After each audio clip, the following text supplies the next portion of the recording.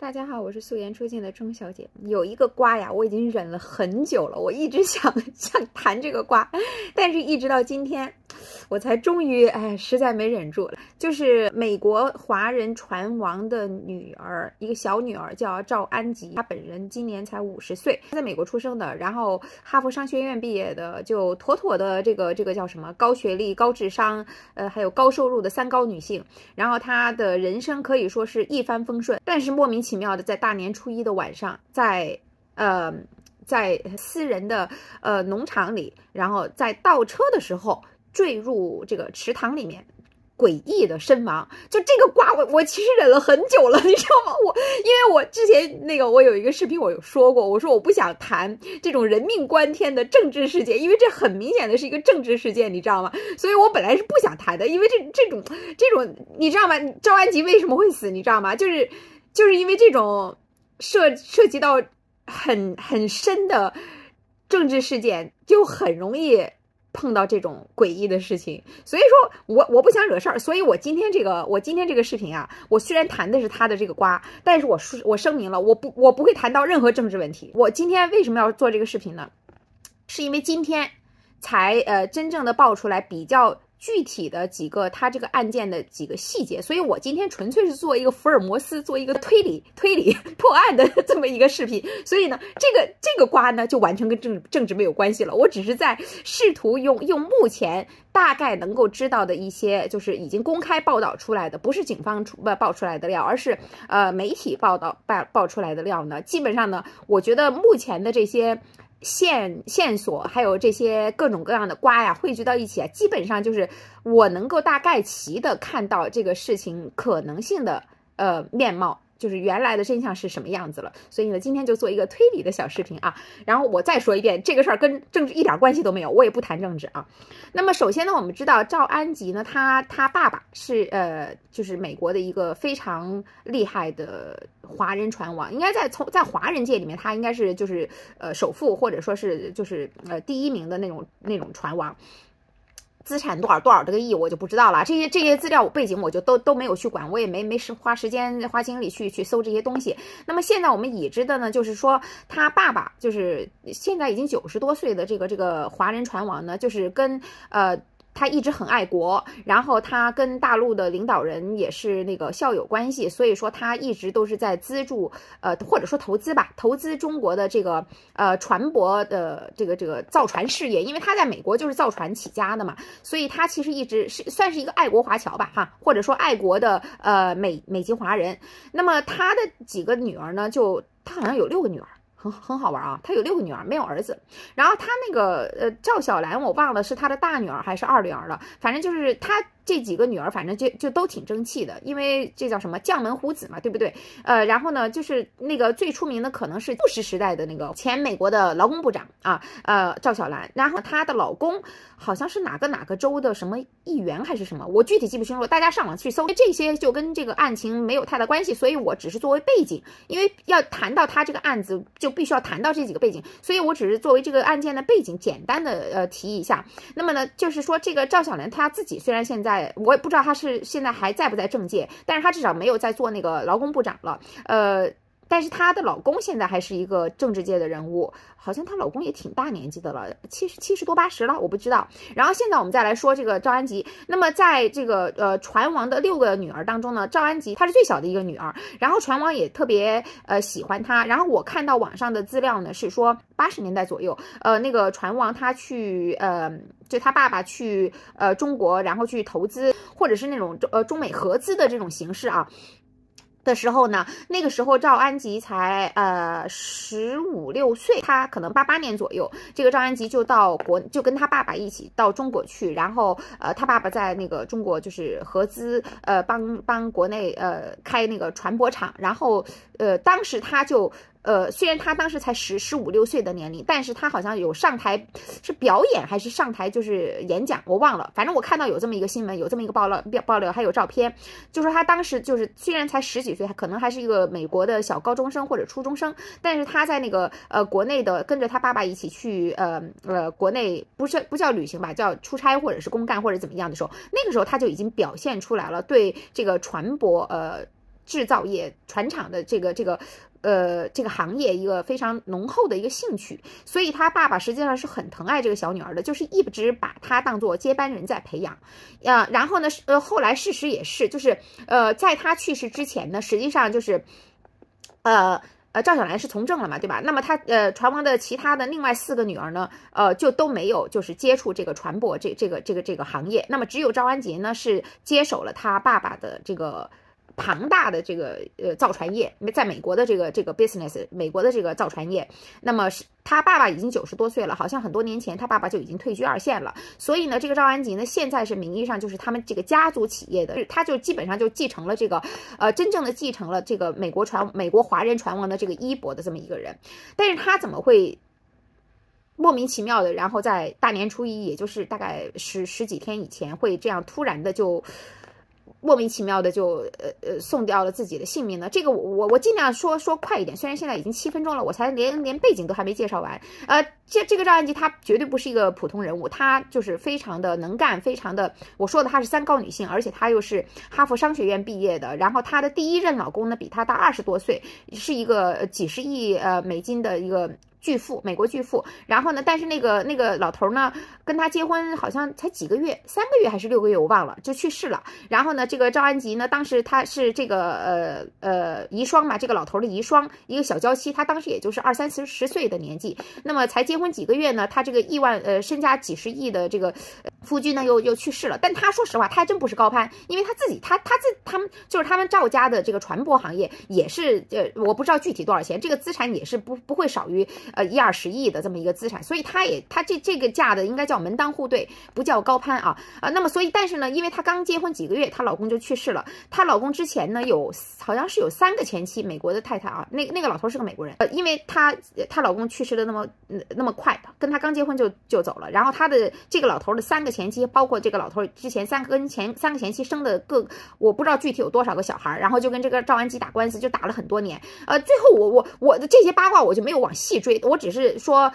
为我为什么要谈到这一点呢？因为我马上就要谈到她的第二任丈夫了。那么她的第一任丈夫就是一个亿万富豪，然后跟她结婚几个月就去世了，所以她也没有小孩。跟第一任，那么她后来呢？呃，我我忘了是呃多久以后了。就是她呃头第一次结婚之后，呃第二次结婚是隔了多久以后？那么她嫁的这个第二个老公呢，好像是比她大十二岁，就大的没有那么多了。然后也是呃美国的一个非常有钱的，身家好像我记得是三十亿美金还是二十多亿美金的呃这么一个内尔，呃，就是也是美国的一个富豪，而且呢，这个美国的这个富豪呢，他特别热衷于投资中国的产业，尤其是非常出名的这个 IDG。就是中国那个呃，这这个 IDG 的呃投资集团呢，呃，就是著名的这个中国的天使投资人熊小哥，呃，那么熊小哥的那个背景我就没有再去查了，但是我估计中国投资界的人对这个人应该都是了如指掌。大家如果有兴趣，可以自行去查一下这个人物关系图，会越来越复杂。但是我这些人物都必须要点到，不然的话我就没有最后就没有办法推理推出他他为什么会命丧。池塘，妈呀，这么牛、这么优秀、这么牛逼的一个女人，最后居然倒车命送池塘，这个人生实在是，我说到这里忍不住想了，对对不起啊，不好意思啊，那个，因为这个，我就觉得这些戏剧性的事情全都，我跟你讲。真的有时候啊，你你你再好的编剧也好，再好的小说家也好，你都编不出来这样的剧情。现实永远都比都比那个那个所有的影视剧、所有的小说或者是文学作品都更加的拍案惊奇，你知道吗？好，我接着往下说啊。那么背景呢，大概就是这样，就是她嫁的第二任老公呢，就是一个很厉害的一个投资大鳄。那么他在中国呢，也呃投资了很多的呃初创企业，然后包括还有国内的那个就是。对于学术界招揽学术人才的这个千人计划啊，也是呃赵安吉的这个第二任的美国老公投资的啊，他就是那个千人计划的这个投资人。那么这千人计划基本上都是搞学术界的，就是很很厉害的大腕，比如说什么物理博士啊、数学数学博士啊，就就这些精英啊，各个大学的这些教授，美国这些大学的华人教授等等等等。Anyway 啊，这个我就不扯了。那么呢，呃，就是在呃赵安吉在大年初一晚上去世的。大概前两天还是前一天，美国呢刚刚呃把这个呃赵安吉的老公叫布布布雷耶布雷耶投资的中国的这家呃投巨大的投资公司叫 IDG 的这家呃公司呢列入为呃军工中国的军工企业，所以呢呃，不知道是不是因为这个原因呢？赵安吉的老公布布雷耶在这个消息发布之前，布雷耶呢就在美国的媒体上呢就公开就是呃发布了一个信息，就是说他他将暂停对中国的。投资就是他，他，而且他当时说了，他在十八个月之内都不会再对中国的，呃，不管是 I I D G 这家已经上了这个美国的这个这个呃名单的这家公投资公司，还是其他的中国其他的初创公司或者是投资公司，那么这个赵安基的老公现任老公布雷耶呢，就说我我我我暂时不向中国投资了，而且这个为期是十八个月，我要观察十八个月以后再说。那么呃，在呃。美国把 IDG 设定为这个中国的这个军工呃企业之后，和这个布雷耶在美国公开发表声明说他要停止对中国投资十八个月之后，那么也就隔了一两天，这个赵安吉就出事了。那么现在呢，就是网上大部分的华人媒体，包括这个美国的这些媒体呢，大部分的爆料都是把这个矛头啊，把这个第一认为他不太可能是自杀的啊，嗯，认为他应该是。被谋杀的。那么第二呢？因为最开始在今天这个料爆出来，就是今天的爆出来的料呢，就是呃，他这个赵安吉这个车子倒倒倒入池塘，倒车入池塘，这个具体的地点、时间和这个打电话给警察报呃报报案的这个报警人，这三样最重大的这个本来应该是公示的信息，呃，在过去的这十几天里面，一直是被呃警方。呃，闭他闭口不谈的，他也没有公布这个信息的。那么，这就是因为他这个警方不公布这个应该公布的这三项信息，就是时间、地点、人物。那么，警方一直不公开这个信息呢，所以说大家才会纷纷的猜这是一个谋杀。因为你很明显的一个，你死了人，然后你又不给人家尸检，然后你又不公布到底他是在哪儿死的，是怎么死的，是谁打电话报的警，这些关键的信息你警方都不报，所以大家就越发觉得这里面有猫腻，就觉得这是一个谋杀。那么，所以在今天这个这个信息公布出来之前呢，所有的这个呃我看到的这些媒体还有新闻什么的，包括美国的媒体，还有最主要的还是华人媒体，因为这个事情，呃毕竟是美国的华人传嘛，所以说华人关注的更加多一些啊。那么大家呢都。是把直接箭头就指向了，指指向了国内，就说这个事儿肯定就是赵安基，肯定就是国内的人下手把他给杀了，暗杀的。这些料爆出来的也不是警方爆出来的，这个我后面会谈到，是一个很奇怪的一个人，呃，叫叫什么 Kelly，我忘了他名字了。嗯，这个爆料人今天，呃。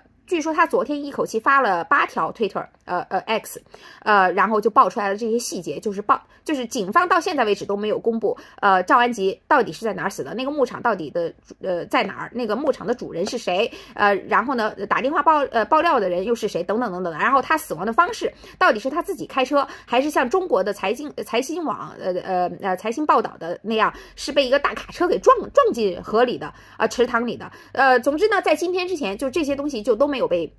确认。那么今天呢，由那个爆料人呢发了八条推特，在昨天发了八条推特，把这些关键信息呢暴露出，呃，曝光了一部分。那么有了这些关键信息以后呢，那今天我看到的这个华人媒体就全都在分析，就说怎么怎么样，怎么怎么样。那这些我现在这个视频已经十十五分钟了，我没有时间讲了。我我再会再录第二集来讲几条关键性的信息出来以后，那么大家。就更加的分析说啊，那赵安吉应该是被人杀人灭口，或者是怎么样？因为之前好像他是他们的意思就是说，他担心 FBI 会找到她的老公呃约谈，或者是要找到他约谈，所以说呢，他们就觉得赵安吉是被人杀人灭口，呃这样死去的。那么我下半集。要分我在我上半集，刚才我刚才我这过去十五分钟把这个背景基基本上七七八八的简单的介绍了一遍啊，介绍的差不多了。下半集我就要重点的分析，就是我我个人分，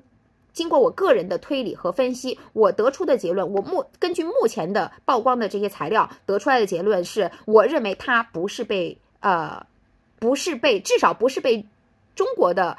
呃人。所谋杀的，就是如果我我现在得出来的结论是，嗯，我觉得大概率他是自杀或者说是意外身亡，而小概率他会是被谋杀，而他即使是被谋杀，也应该是美国方面的某一些人呃下的手，而不太可能是中方。呃，为什么？我在下半集里面会把我这个整个的推理过程和结论呃说的。清清楚楚楚。大家好，我是素颜出镜的钟小姐。然后现在我来讲下半段的，就是重点的推理。然后因为我不知道我大概要花多长的时间才能够讲清楚这些推理，所以这个视频不管是十分钟、二十分钟还是半个小时，我都要一次性的把它录完。搜了一下它的这个准确的，就刚才我不太确定的一些信息。首先呢，他的姐姐赵小兰呢是一九五三年出生的，所以她今年已经七十岁了。那么她现在应该已经是呃退休了啊。呃，没有在职位了。然后这个赵小兰，也就是她她姐姐的呃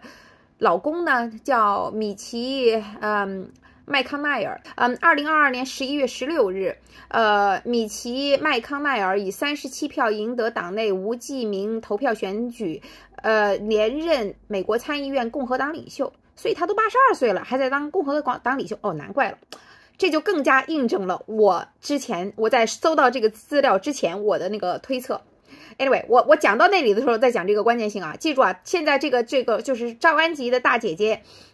呃的呃老公，也就是她的大姐夫，是现任的美国参议院的共和党领袖哦，嗯，很厉害啊。好，那我们接下来回来讲这个赵安吉。然后呢，呃，我刚才说的那个，呃，有一个人昨天连发了八条推特，那个人我也找到了，叫卡尔贝斯。那么他连发的那八条推文我还没找到，但是呢，我找到了他在这个英国金融时报上的这个呃 profile，就是上面有他采接受英国金融时报的采访，或者是他写的文章的，呃，那么一个我还没来得及细看，我只看了一下他那个 title 和清单。那么基本上我可以得出结论的，第一呢，他的确是一个很很有名的。的一个美国投资人，呃，虽然我目前还没有搜到材料，我也来不及，刚才就休息了十几分钟的时间，我来不及搜到他到底是什么原因和他有什么样的内幕和以及他有什么样的人脉，能够知道呃这个赵安吉去世当晚的这么多详细的情况，也就是他昨天在二月二十二号连发的八条推特的那些料，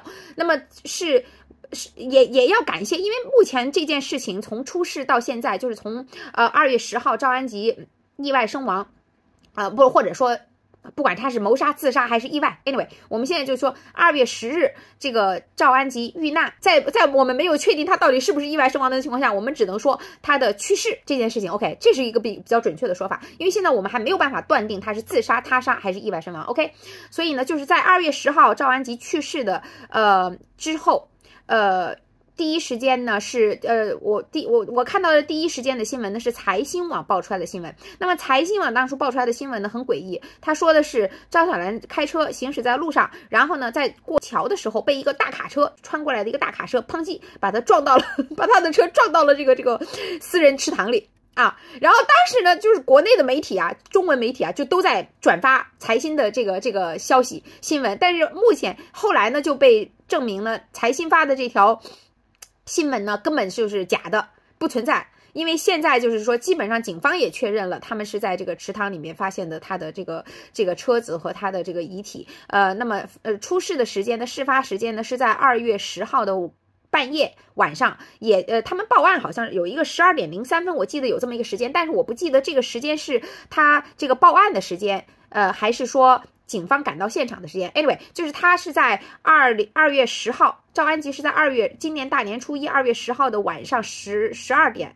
那就已经是到二月十一号了。实际上就是二月十一号的凌晨十二点，就大概就是这么个时间，赵安吉在呃这个这个他姐姐的牧场的这个池塘里出的事啊，呃是是这么一个呃就是准确的说法就是这样子。那么警方发布的呢，到目前为止警方都没有。公开第一，这个他出事，赵安吉出事的这个，呃，农场到底是谁的？还有这个水塘，他被淹死的这个水塘到底是就是这块地的主人是谁啊？大家都不知道。那么之前呢，就是因为警方一直隐瞒这些信息不报，所以说呢，所有的媒体呃都在那里，也不能叫阴谋论了，因为在没有任何呃。信息源的情况下，就大家都在猜他是被杀人灭口。就是大家为什么都在猜他是被杀人灭口？张安吉是被杀人灭口呢？就是因为这个事情整个太诡异了。呃，这个整个呃，我然后我查到他他爸爸那个船王的那家公司叫福茂公司啊，福茂集团。所以赵安吉现在是福茂集团的董事长和 CEO。换句话说，赵安吉现在就是美国的这个女船王嘛，因为他已经继承了他爸爸的衣钵。这么大的轰动的一个事件，然后警察居然不敢报说，呃，他到底是在哪儿去世的？然后出事的整个。细节经过都是怎么回事？警警局一目警警局一直都在调查，而且还有一个呢，就是说，警方又不不肯去这个解剖尸体，因为呃很多这个。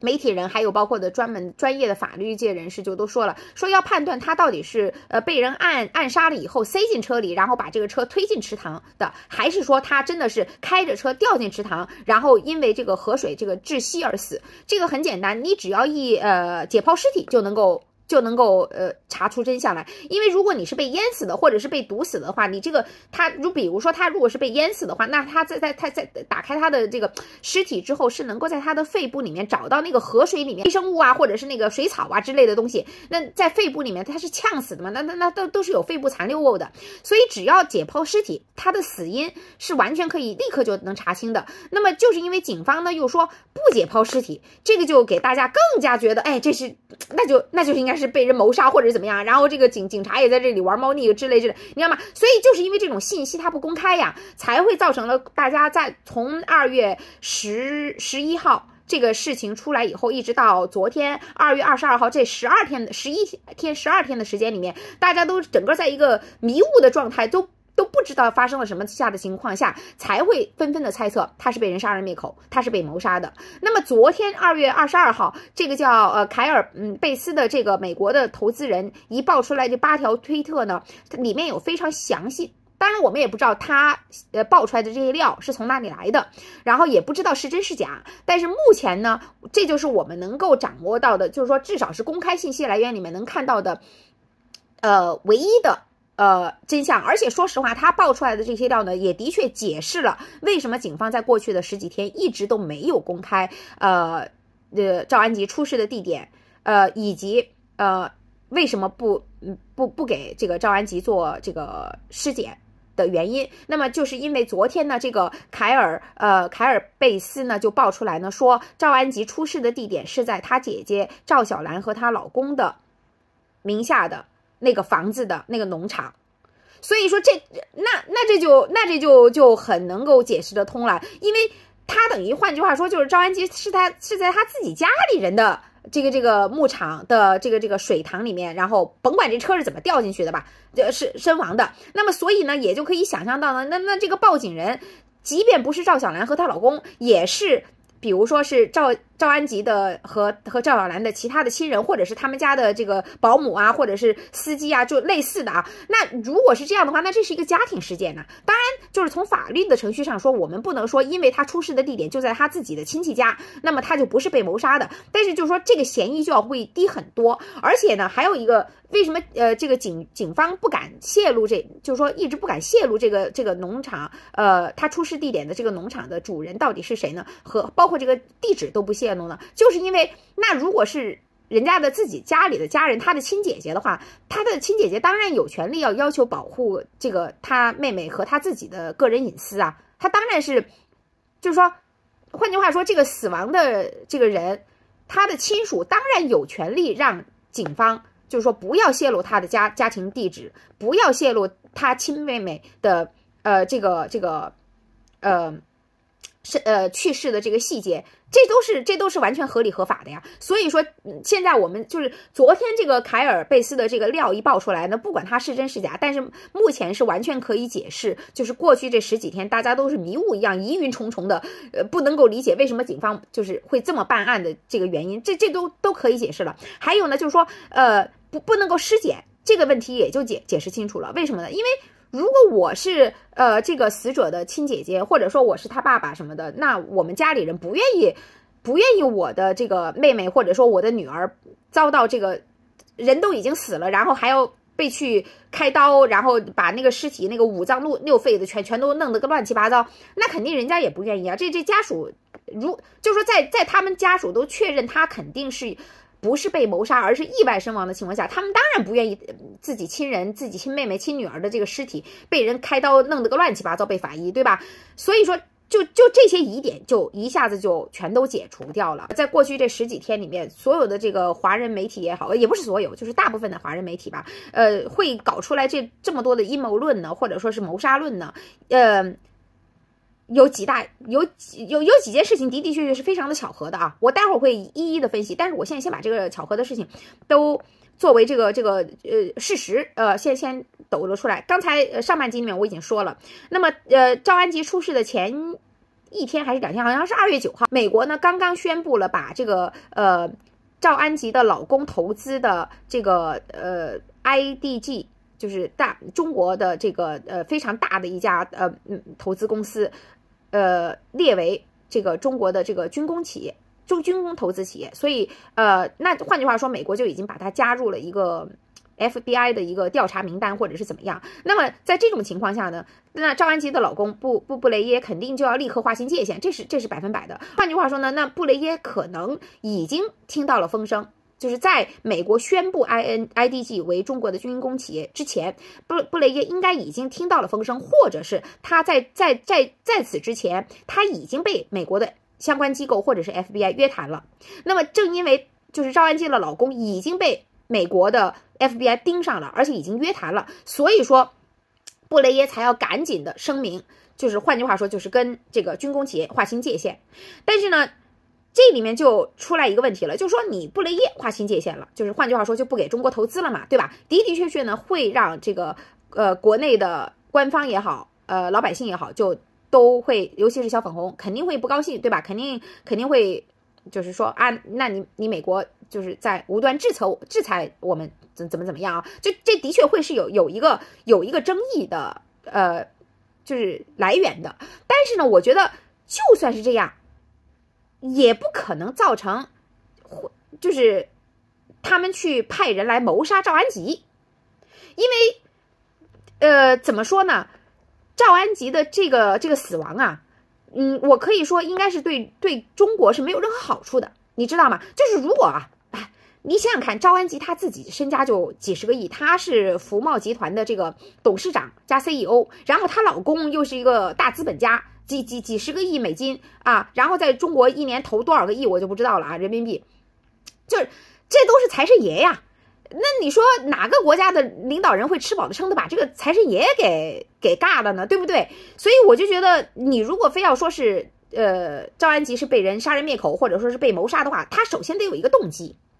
就是，尤其是一个国家或者是一一一个一个高级的管理层的话，他要他要去，而且他如果说是谋杀，他要谋杀的不是一个小喽啰，不是一个在投行里面工作的一个，比如说操盘操盘手，或者哪怕是一个基金经理，哪怕呃就是一个部门部门的总裁，呃什么什么 VP 之类的，他他要去谋杀的不是这么一个小喽啰，而是一个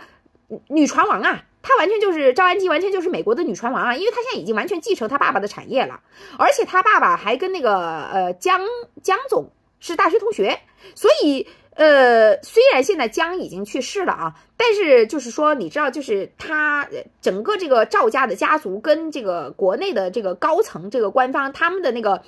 connection，他们的那种千丝万缕的那种关系，尤其是他爸爸九十多岁了，而且就是这么多年。一直在那里支持中国的这个传播行业，呃，就是花了那么多的钱，投资了不知道多少个亿，没有功劳也有苦劳啊。而且你知道，他就是国内的很多的那些，呃，大部分的呃这种军工类的，或者说是普通的船舶，就是是造船厂。说白了，就是国内的很多造船厂。那么这个福茂的呃原董事长，就是这个九十多岁的创始人，他他是呃。有些是间接持股，有些是直接持股，然后有些他是比如说技术转让等等等等，就是他是出了很大的力的。那么对于对于这么一个，就是换句话说，他一直呃，他爸爸一直就是国内的高层领导人的座上宾呐，都是直接跟这个江他们一起合影的，而且他是紧挨着江的位置上照的合影，那个照片我在网上看到了的啊。就所以说，对于这样呃。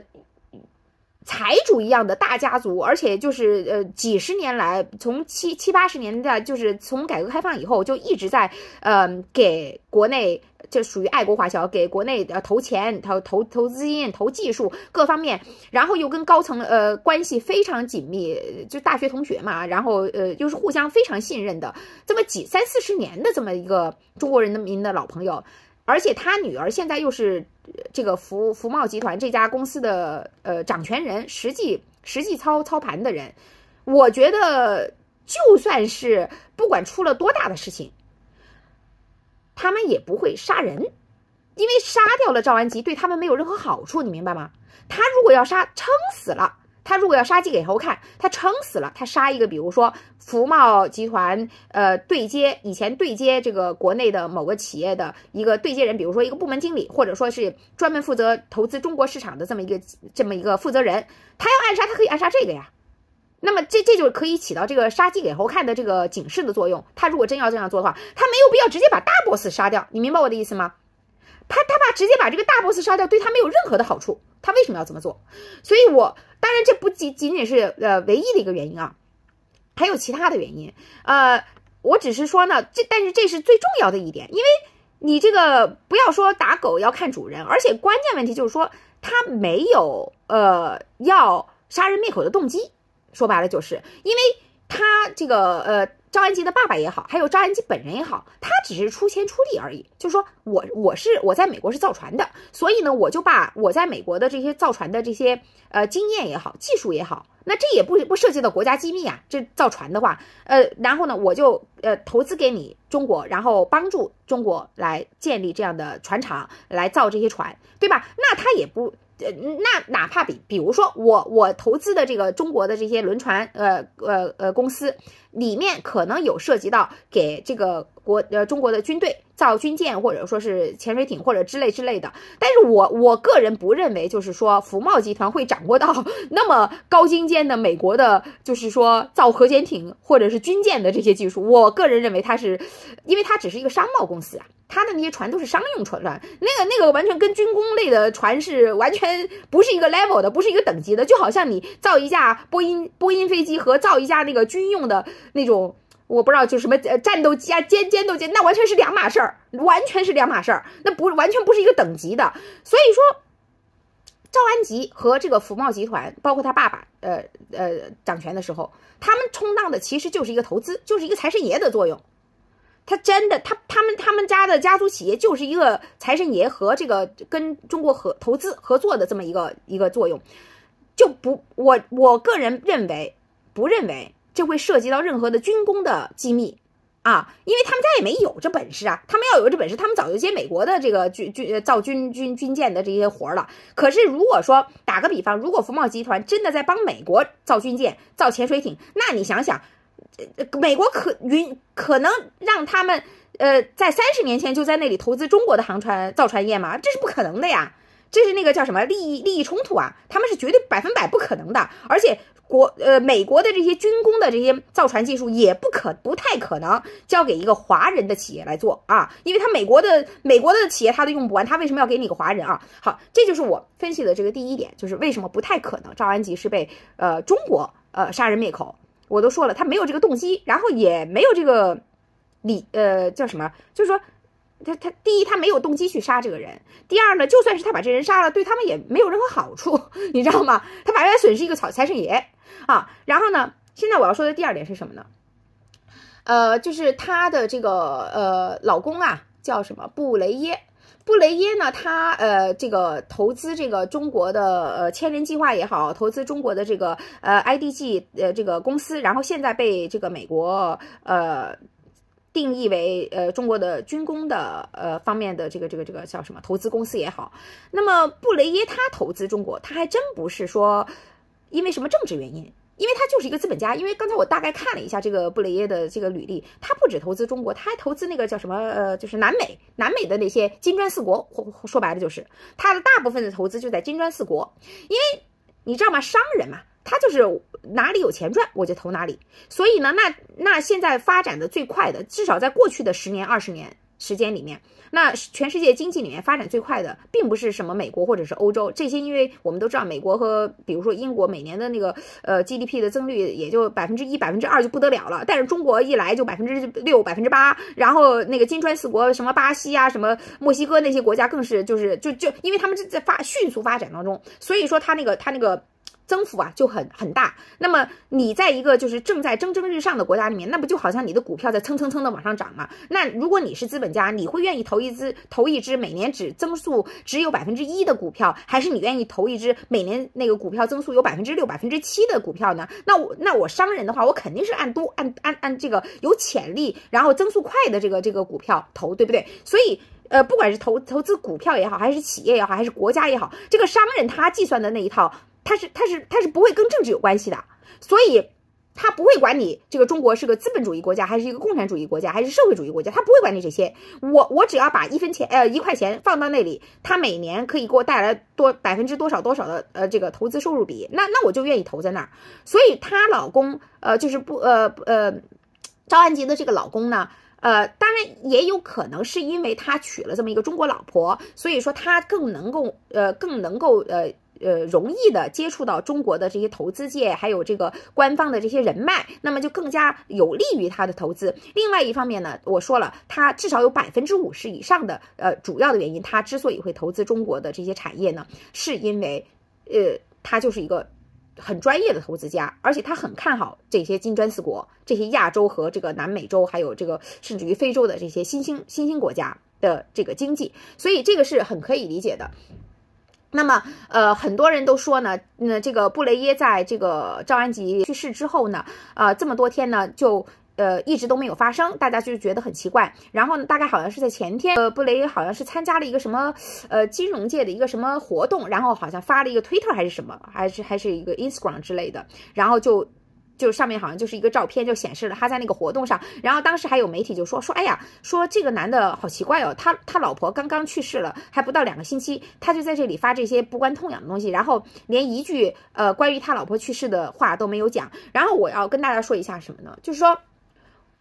因为他的这个动态呢，我并不认为是呃，因为他不关心他的妻子或者是怎么样，而是因为大家不要忘了，呃，他刚刚发表过，他不会再跟中国投资，呃，在呃，在未来的十八个月他不会投资。那么很显然呢，他应该已经被美国的官方或者是 FBI 约谈过了。那么在这种情况下，他就更加的要小心，不能够说错一句话，办错一件事。因为你已经被盯上了，你已经被美国的 FBI 盯上了，所以即使在他妻子已经去世，而且在他去他妻子去世的时间和这个地点又是这么诡异的情况下，如果我是这个布雷耶的话，我也会明哲保身，我也会就是说，呃，多说一句不如少说一句，嗯，因为他不想引火烧身，说白了就是，因为在。这个布雷耶本人还不知道到底发生了什么的情况下，因为我我为什么突然判断布雷耶本人他那天晚上不在农场的这个公寓里呃的这个别墅里呢？是因为如果他当时在场的话，那很简单，他就可以直接报警，他就是第一个会采取行动的人。但是呢，目前我看到的所有的爆料都没有任何人说就是呃，不管是这个地点还是说那个电话都和这个布雷耶有关。所以我个人呃，我个人认为呢，那天晚上他是不在场的。嗯，我认为他是不在场的，所以呢，他也不太清楚到底发生了什么事。而且，就算是他可能知道某一些有可能性，那天晚上到底发生了什么，他也不愿意被搅进来，因为毕竟是人命关天这件事情。而且，说实话，赵安吉去世了，布雷耶是最大的受益者，因为他是他的合法的老公啊。那换句话说，整个福茂集团，我不知道老船王有没有定定下来这个这个遗产的分配之类之类的。但是不管怎么样，赵安吉他他呃所。她分内的那一份这个福茂集团的这个这个呃股份的话，那就直接就归到她老公的名下了，因为她去世了嘛。那她她这个张安基的老公布雷耶就变成了法定的第一位继承人了。所以如果他这时候万一要是说错了什么话的话，他的嫌疑就更大了。搞不好人家会说，哎，是不是你杀的，谋财害命了，对不对？当然我只是调侃一下，不太可能。我只是说呢，我我觉得他现在不发声也不表态，呃。包括呃，这个赵安吉本人，他的爸爸，还有他所有的这六个姐姐，包括还有赵小兰和她的老公都不发声，都不表态，我是非常可以理解的。因为在这个时候，最好的办法就是说，大家什么都不要说，然后就按程序流程走，就就对了。因为你不管这个时候你的这个家属说了什么，都会被媒体无限的放大。对，所以我我我是可以理解，就是说。张安吉出事以后，她的呃这六个姐姐也好，还有她爸爸也好，还有她的老公也好，都是一言不发，我是非常理解的啊。我觉得就是说这个是不能叫人之常情，但是就是说从从呃他本身的这个死亡的这个事情，本来就是一个非常爆炸性的新闻了，所以任何其他呃不管是家人或者是亲友，如果再说错一句话，那都是雪上加霜，不知道会把这个雪球会滚到什么样的地步啊。所以呢，刚才我说了呃很清楚，就是第一呃。这件事情我不认为是谋杀，然后我也不认为是中国派人来谋杀，而因为如呃刚才我已经说了，呃他中国如果谋杀了他，对他对中国没有任何的好处，反而会就像现在一样，就是会引来大部分人的这个质疑，呃都觉得他们是怎么样杀人灭口或者是怎么样，而且我再说一点，就说如果是真是中国如果要派人来谋杀他的话，也不会选在大年初一呀。谁会选在大年初一去杀人呢？对不对？你不是说像那个什么什么山东还是哪里？我忘了。国内那个就是趁着那个大年初一，大家都在放鞭炮的时候，拿那个枪嘣嘣嘣嘣嘣的杀人。除了这种，那是属于你知道吗？是农民才会这么干。那 你说这种最高层的这种最高层的这这这些人物，怎么可能选在这一天呢？太招人，太太惹眼了，太引人注目了。小说都不敢这么写的，我跟你们讲。谁谁会那么蠢？我要去谋杀，然后我还呃赶在大年初一去谋杀呀！而且说白了，就算打个比方啊，如果真的是中国的官方想去谋杀这个赵安吉，杀人灭口，他好歹得给他爸点面子呀。他爸爸九十多岁了，对吧？爱国华侨，呃，给中国呃出钱出力，出了几三四十年了。然后我去大大年初一过过年的当天，我我去把你的小女儿杀了。我告诉你，如果真真的是这样欺人太甚的话，船王一家也不是好惹的，你知道吗？我毕竟我虽然九十多岁了，我们家家大业大，我们家在美国那么多的产业，我就你你敢在大年初一的时候把我把我小女儿给给给暗杀了，我我就算拼了全家的性命，我也要跟你干呀，对不对？对不对？所以他不，我我这么说，如果说真的是中国官方要暗杀。赵安吉，他最好的办法是什么？找一个神不知神鬼不觉的时候，甭管不不，别说大年初一了，比如说选一个谁也不知道，的肯定都大年十五以后啊。比如说三月四月风和日丽某一天，啥事儿也没有，而且都不是周末，可能赵安吉就去开着车去上班，嘣来一辆大卡车把他给撞翻了，嗯，谁会怀疑到是你啊？对不对？这样去暗杀不是更加顺理成章吗？更加不引人注目吗？这才更真正的像一场车祸呀！我要去暗杀，我还在这个大年初一的晚上，然后在赵安吉本人在他姐姐赵小兰的家里面，然后我现在你知道大家说他呃说那个嗯说是谋杀是怎么谋杀吗？说是在安吉开的那个特拉斯的那个电子操纵系统里面什么动了手脚。如果说啊真的是这样的话，我觉得那。这个这个谋杀的这个人蠢到已经不是一般了，因为你不仅得罪了美国的这个船王，船王整个的家族福茂集团，得罪了这个呃美呃中国的这个大金主呃布雷布布雷耶，得得罪了赵小兰和他的这个参呃共和党的呃参议院的领袖老公啊，不仅得罪了这一大帮，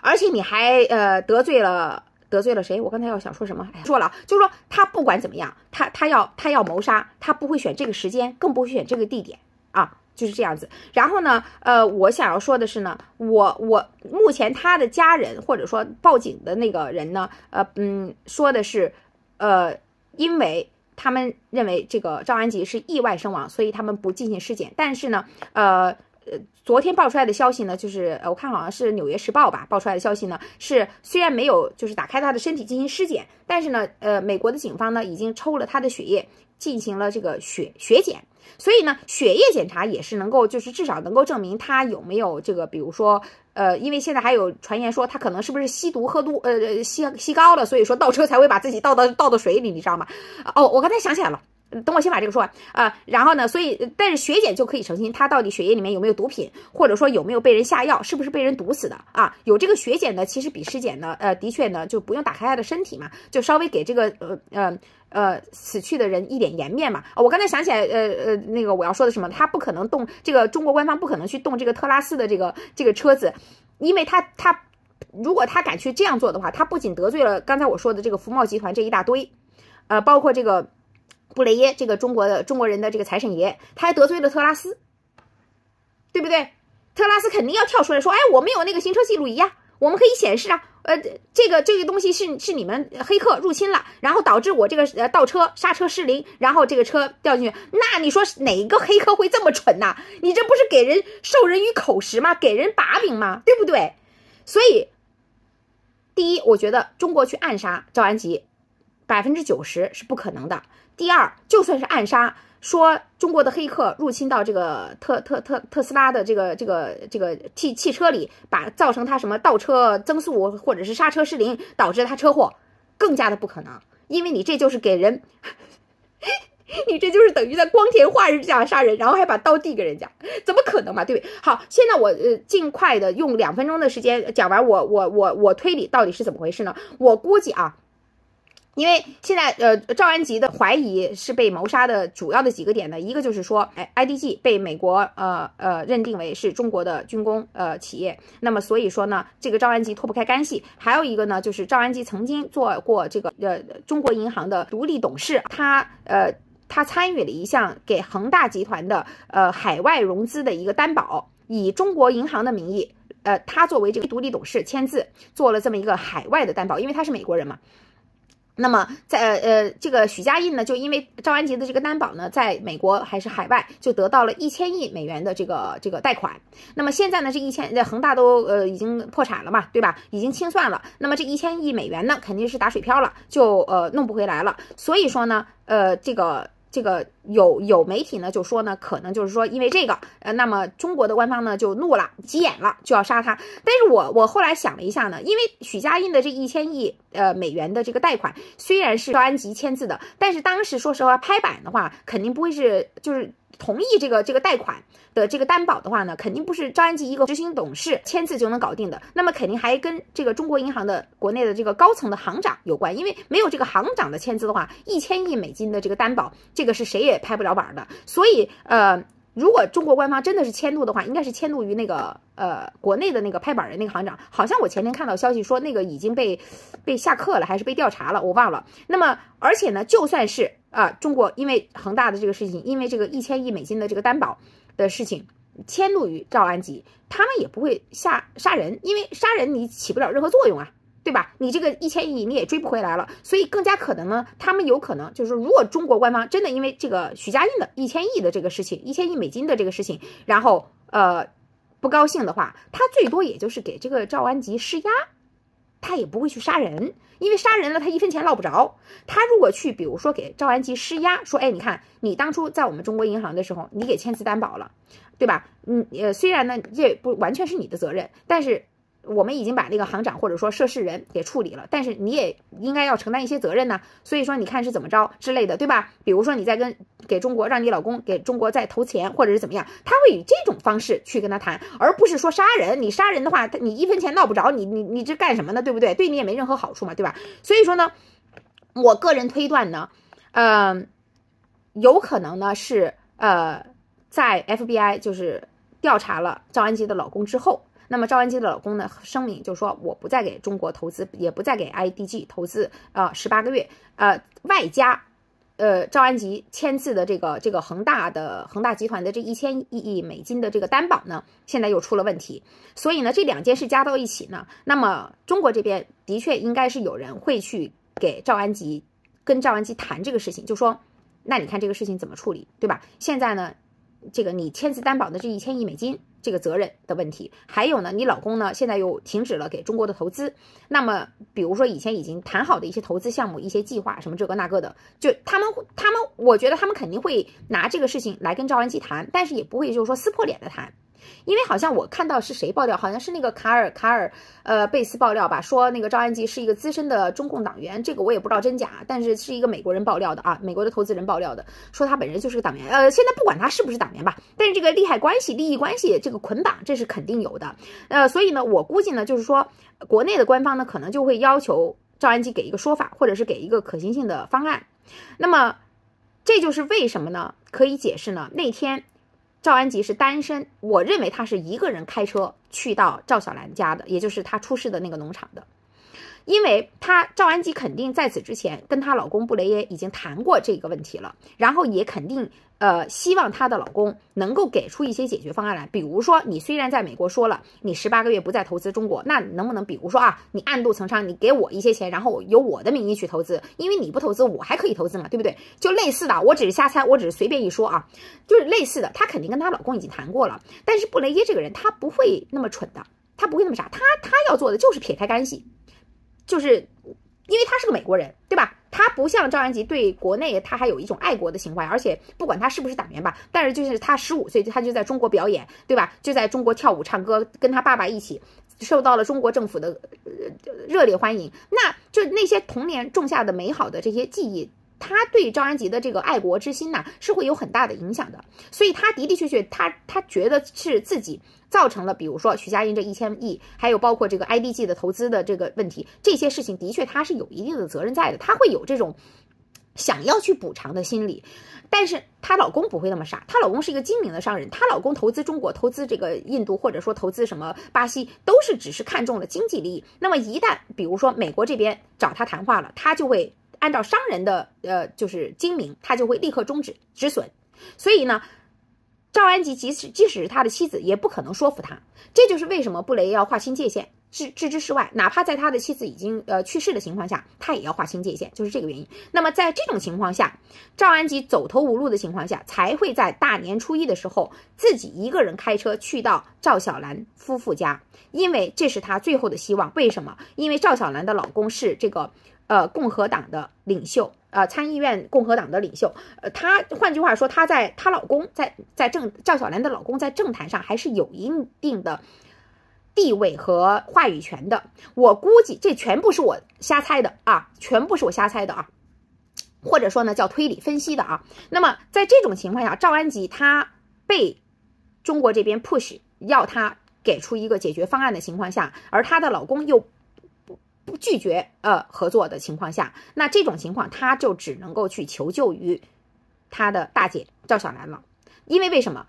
大年初一，他没有去他父亲那儿。如果他如果有求于他父亲，他可以去找他父亲，比如说找他父亲在国内的高层的那些呃官方的那些高层的人脉给他帮忙。但是他没有，而且我们都知道，这个江不是二零二二年已经去世了嘛？所以说呢，江一一去世以后，他父亲在国内的那些政治呃高官方面的人脉基本上快七七八八的就已经所剩无几了。所以这也就是为什么呢？呃，在在此之后呢？嗯，他呃，赵赵安吉的，好像那个他那个中国银行那个非独立董事辞职，好像我记得不是二零二二年，就是二零二三年，就是在将去世以后啊，这也就很说明问题了，就是一一朝天子一朝臣嘛，啊，这个很简单的事情啊，所以我接着说完，所以他那天为什么会一个人开车去赵小兰家里呢？这就是他最后的一个希望，因为他希望赵小兰的老公能够出面，比如说在这个。美国的这个这个议会，或者是哪里，或者是找关系，能够帮他说上一句话，然然后看看能不能想办法来处理这个麻烦事情。一个是 IBG，一个是恒大的这一千亿美元的这个这个这个担保等等等等。就呃，因为赵安吉她是一个非常聪明的女人，她自己也是这个哈佛商学院毕业的，所以说在面临困难和危机的时候，她肯定会要想到一些商业性的办法来解决这个问题。那么当这种呃。商业呃，就是经济又和政治搅和在了一起，然后又因为现在是美国的这个官方嘛，呃，官宣呃 IDG 的这个这个呃是中国的军工，那么就就等于切断了 IDG 在美国的一切的投资的来源，不仅仅呃是从她老公这边，包括其他的任何人，美国任何投资家都不敢再给 IDG 投资了。那么在这种情况下，她唯一能够想出来的办法就是找到一个政界的人物去斡旋，因为只有。在取消了这个 IDG 的这种官宣之后，美国的投资家才会有可能把钱投资到这个这个这个呃这家中国的投资公司。所以说呢，赵小兰的老公，也就是她的大姐夫，就成了她的最后一根救命稻草，或者说她的希望。那么，呃，这就是我推推测或者说推理的。呃，你也可以说是我纯粹瞎编的，你就随随便听就好了。那么我估计那天晚上呢，就是因为借着过年嘛，对吧？那肯定大家都是一家人，高高兴兴的在那过年。但是为什么后来呃赵小兰会在半夜十一点多钟，或者说我他既然出事十二点零几分，那我估计他应该是十一点以后，比如说十一点半或者十一点四十五左右离开的赵小兰的和她老公的那个那个别墅，然后开车想要回家，也就是说快到十二点的时候，他开始要想要回家。但是这个这个地方我就没有办法去推理和分析了，我只能是说呢，百分之百。呃，赵小兰和她的老公都不可能答应赵安吉今天晚上给他们提出的各种各样的请求和，呃，希望他们帮忙帮。赵安吉本人的忙来解决这个大麻烦，因为不然的话，他现在在中国官方这边，他在中国这边就很难做，他是背了背负，肯定是背负了非常大的压力的。一千亿美金的这个担保的确是他签字的，他是脱不开干系的啊。虽然他可能用不着还这个一千亿，但是这个压力是非常大的，而且他是真的，呃，他感情上是对中国是非常。Attached 的，就是，所以他还是希望能够帮助呃中国解决这个巨大的问题，这么大的一笔资金的问题，外加还有 IDG 的问题。但是赵小兰和她的老公绝对不可能答应她，绝对不可能答应她，就算是她的亲妹妹，他们也不可能答应她。这也是完全可以理解的人之常情，对吧？因为你这个就已经超出了，呃，哪怕是亲人，哪怕是亲姐妹之间，我能够帮你的这个底线了，对吧？因为这已经上升到政治层面了。已经上升到这个叫什么，我就不能再细说了，对吧？大家都明白。所以说呢，他们夫妇二人肯定是那天晚上拒绝了赵安吉。那么在赵安吉情绪要么是非常沮丧，要么是非常激动，要么是非常愤怒，要不然就是不非常的慌乱，不知道该怎么办，因为这是他最后一条路。然后他现在是走投无路了。但是我仍然不认为他会在这种情况下自杀。所以说。我更加认同于他可能的的确确是出了意外，就是他在开车的时候倒车的时候，他很可能忘了自己是在倒车，他踩了油门。我这是我